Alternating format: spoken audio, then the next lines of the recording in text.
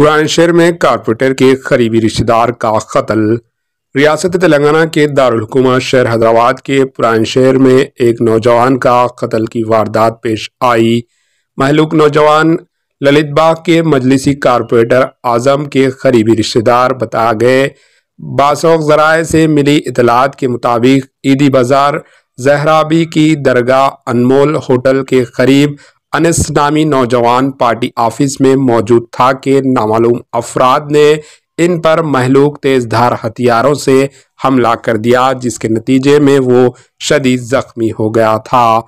इन्हें इलाज के लिए अस्पताल मुंतकिल किया गया, जहाँ वो इलाज के दौरान जख्मी से जान बदार ना हो सका और अपनी जान खो बैठा। पुलिस मुकाम वाक़ पर पहुँच गई और मसरूफ़ तहकीक़ात है। Bureau report, H news. H news को लाइक करें शेयर करें और सब्सक्राइब करना ना भूलें।